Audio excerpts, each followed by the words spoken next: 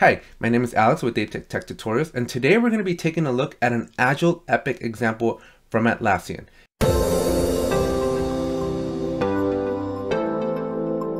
If you're new to Jira or if you're new to the wonderful world of Agile, please make sure you're subscribed, you drop a like on this video, and if you have any questions about anything that I cover, make sure you drop a comment below. In the last video, I basically gave you an explanation of what an epic is, in this video, I'm going to show you an example, and then in the next video, we're actually going to go and build it in Jira and show it to you and show you how everything, all this theory of what an epic and stories and tasks are and how they're interconnected, I'm going to show you how they actually come together in Jira. So again, if you are not subscribed, you're going to want to make sure you subscribe because you are not going to want to miss out on these amazing videos. With that said, let's jump into today's video. Okay, so here we are. We're back at Atlassian's Agile Coach. If you haven't watched the last video, please make sure you take a look because you're want to remember or at least know what I was talking about with respect to what Agile is so that this example starts making sense to you. If you are following along, Agile Coach at Atlassian.com we're going to come down to epics and we're down to the agile example. So let's take a look at this example in a little bit more detail and see see what they're trying to tell us, okay? So this is going to be an example. It is just to kind of help put what an epic is and where epics fall into place with respect to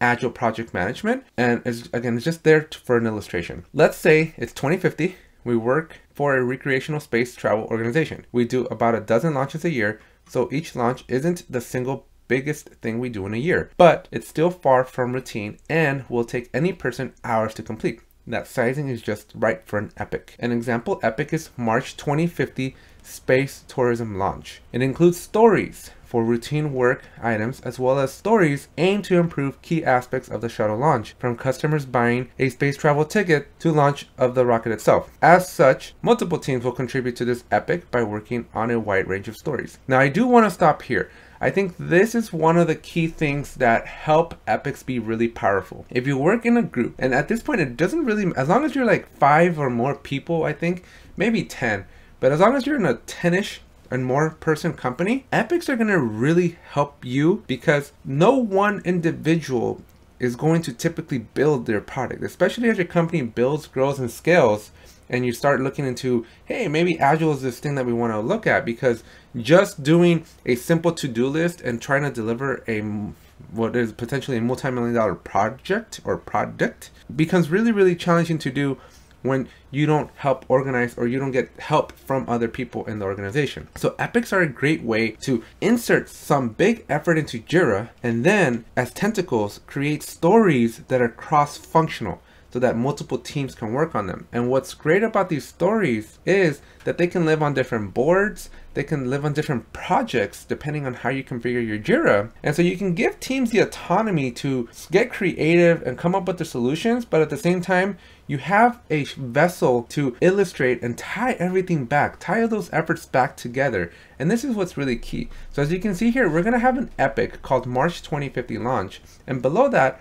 are three stories. These three stories can belong to the software team, they can be QA stories, they can be design stories, they can be any number of different stories that individually might not be very important, but when they come together as a team, as a group, now you have something valuable and now your team has a North Star, if you will, a purpose of what does this story have to do with the bigger picture of what we're trying to push out.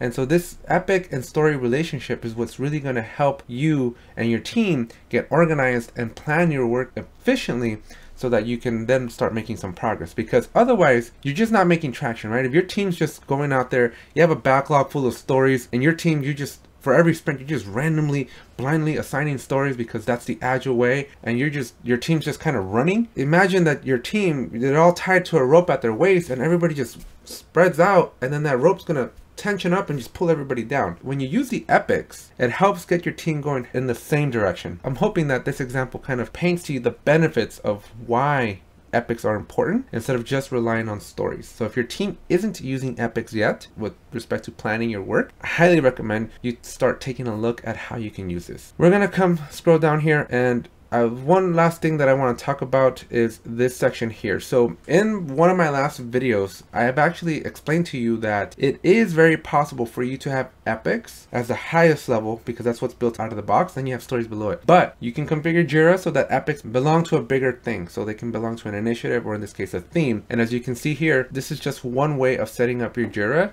so that you have a multi-tier hierarchy to help you again organize the work. This is not necessarily stuff that you're going to find within the Agile Manifesto it's not necessarily going to be stuff that you're just going to find in a traditional just vanilla agile shop but you want to leverage these issue types in Jira to create these hierarchies to help you and your team organize your work because at the end of the day teams are usually late they're over budget and just bad things happen to a deliverable because there's not enough communication. There's not enough clarity as to what's important, what is the most value added thing, and what should this giant company or giant team, and I say giant loosely because I think a team of even 50 is already opening and is already ripe for miscommunication. But anybody that's just really depending on other people to work to put a product together, you want to leverage your issue type strategically so that you can then get organized so that your team can actually make traction.